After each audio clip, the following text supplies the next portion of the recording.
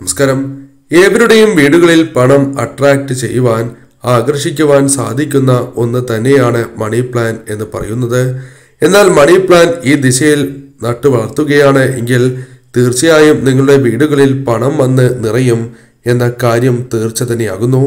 അതിനാൽ തന്നെ മണി പ്ലാൻ നട്ടു വളർത്തുവാൻ സാധിക്കുന്ന ഏറ്റവും പ്രധാനപ്പെട്ട ദിശയെക്കുറിച്ചാണ് ഇനി പറയുന്നത്.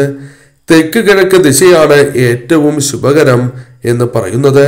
അതിനാൽ തന്നെ ഇവിടെ നട്ടു വളർത്തുമ്പോൾ തീർച്ചയായും ഭാഗ്യവും ധനധാന്യ സമൃദ്ധിയും വന്ന് ചേരും എന്നത് വാസ്തവം തന്നെയാകുന്നു.